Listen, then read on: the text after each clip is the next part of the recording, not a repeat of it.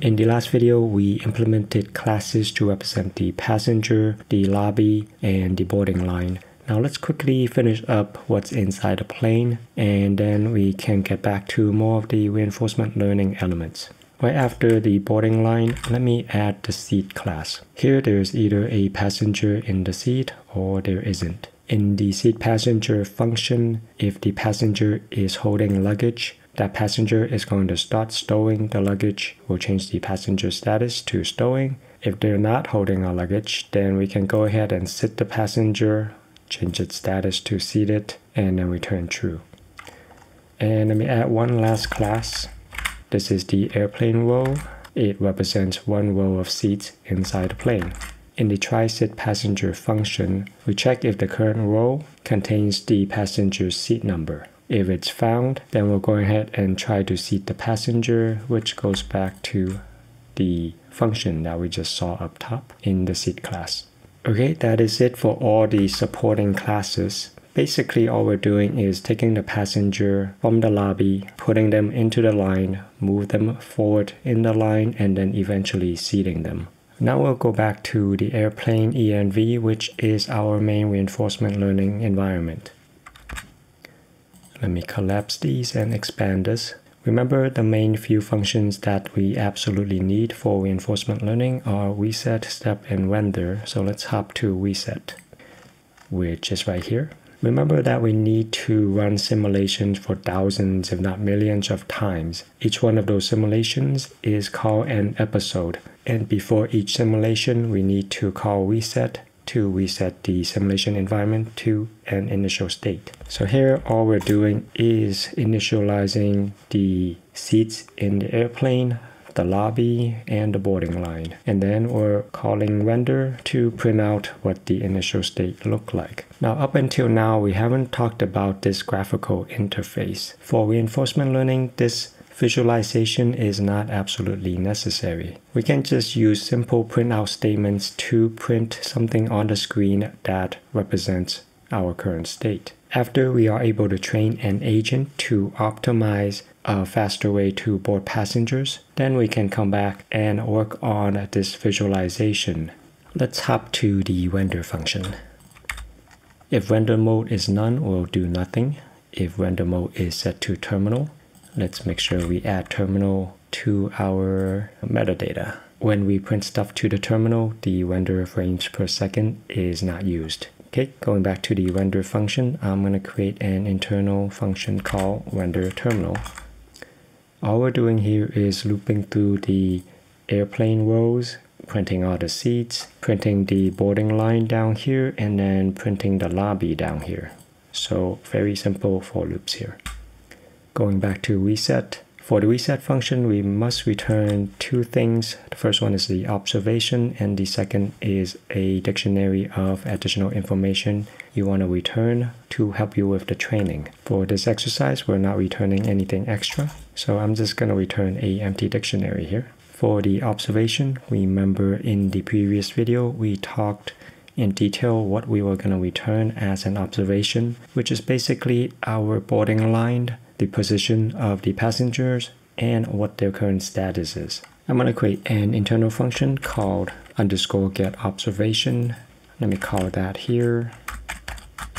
And all we're doing is looping through the boarding line. If there's no passenger in that spot, we put negative one and negative one. If there is a passenger there, we put their seat number, what they're actually doing at the moment, whether it's moving, stalled, or stowing luggage. We need to keep the size of the observation as a fixed length array. Remember the observation feeds into a neural network, so it has to be fixed length. We can't vary the number of nodes going into the network. We'll return the list as a numpy array of integers. Now that we have the reset function, a way to get the observation, and we also have a render function, we can go all the way down to our main we don't need to check the environment at the moment. We know it's incomplete, but we can start printing the observation, the initial state, and see what that looks like. I'll use gym.make to create an instance of our simulation environment using terminal as the render mode. And now we can use reset to initialize our environment. You know, since we're calling reset explicitly, we really don't need to call reset in the init function. Let me get rid of this. Go back to my main and I'll hit F5. I hit F5 again and it completed the run. By default, I'm using three rows by five seats. So here's my, uh, I'm using S to represent the empty seats and I'm printing the IO this is, let's get back to the visual. You have the five seats, the aisle. it's supposed to be in the middle, but it's much easier to print it on the side. We're not distinguishing the seats, so it doesn't matter where the aisle is. Our boarding line is empty.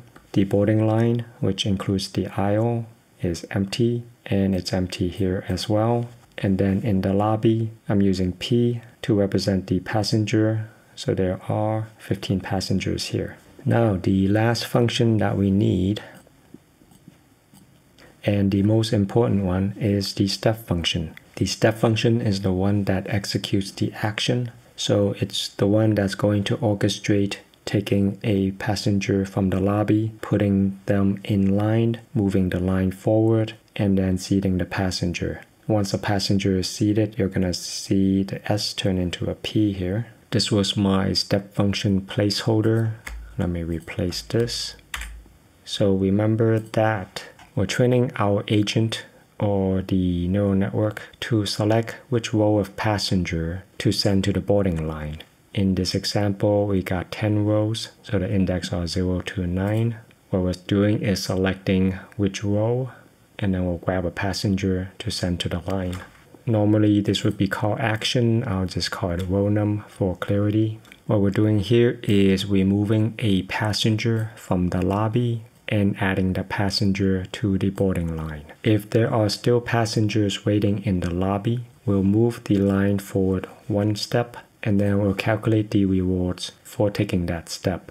If there are no more passengers in the lobby, we'll go ahead and keep moving the line until everybody is seated. This is because if there are nobody else left in the lobby, there is no more decisions to make by the neural network. So that means there are no more actions left. And that's why we keep moving the line until everybody is seated. At the same time, we're accumulating, we're using plus equal to to accumulate the rewards. Whereas up here, we're only calculating the reward once because we're only moving the line forward one time. Here we're checking if there's anybody left in the lobby or in the boarding line. If there is, that means boarding is still happening. The simulation is still going on, so it has not been terminated. Otherwise, once everybody has seated, then we terminate the simulation. The required returns are the observation, which we saw when we did reset, the reward that has been accumulated up top, the terminated flag, the truncated flag, which we talked about in a previous video that we are not going to use. And then the info dictionary, similar to reset, we're also not going to use. Now let me fill in the is onboarding function and also the move function. And then we'll take a closer look at the rewards calculation. I'll go ahead and put is onboarding down here. And all it does is to see if there's any passengers left in the lobby or if there's anybody still left in the line.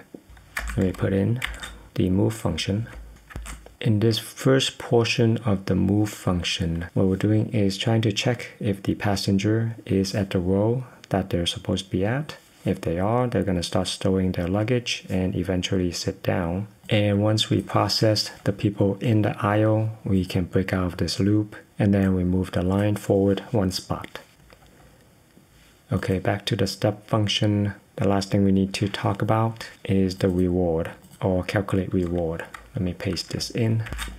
I'll add calculate reward. The reward is very simple. At this moment, how many passengers are stalled? They can't move. If they can't move, it's a penalty. We put a negative sign here and then we add that to the number of passengers that can move. For example, in the current situation, this passenger is storing their luggage and there's 10 people stuck behind this person. So we get a penalty of minus 10. Now if there happened to be somebody up here that was not stuck and they could move, then we would add this count to the reward. But in this case, we get a reward of minus 10.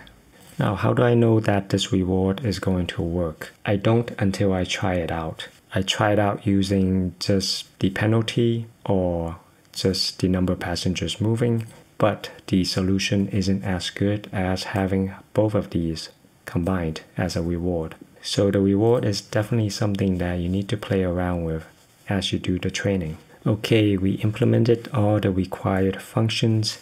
So now we have a complete environment. Let me go down to my main. If I do the check my environment now, hopefully it should pass.